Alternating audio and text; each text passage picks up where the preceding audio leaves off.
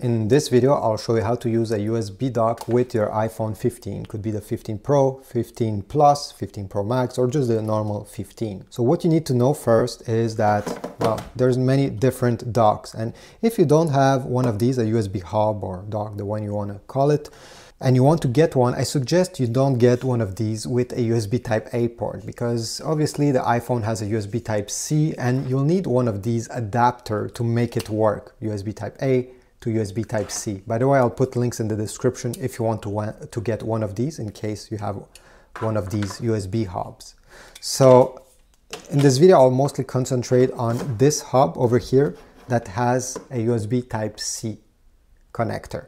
Then if you plan connecting a dock to your iPhone, make sure that you choose one that has some power input. It means that when you connect power via USB Type-C, in this case, on this Minisopuru, again, I'll put a link in the description if you want to get this, it will power the iPhone because obviously the dock will connect via USB Type-C and if you don't have a MagSafe charger, well, your battery will drain quite fast, especially if you're to plug some hard drive and do some intense uh, work. So it's great to have a dock where you can plug it in your phone and plug power in it to actually charge your iPhone and also, in case you're using some spinning disk hard drive that requires power, well, obviously you'll need a dock that provides power to these devices. In my case over here, I just have two USB thumb drive that are USB Type-C. This dock over here also has an HDMI port and what's great is, again, if you want to use your iPhone with a monitor or a TV, well, you'll be able to, uh, to connect it to this dock. So just to show you, I'll plug these two USB thumb drive. Then I'll plug it in the dock over here. This has three USB Type-C ports, but there are some USB hubs that have many more ports than this one. And the great thing is that you can use them all at the same time. Here I have two, and if I go in Files on the iPhone, should be the Files app, should look like this. It comes with it, so you don't need to download it. Open it, go in Browse, and you should see every connected devices over here. You see, I have this SanDisk and this Verbatim thumb drive, and both are working.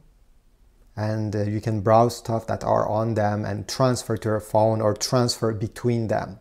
You can also connect to your dock other devices, not necessarily memory cards or USB thumb drives.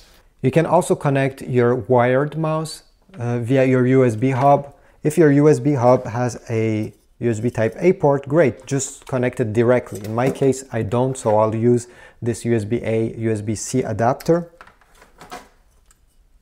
like this, okay? The mouse will be powered.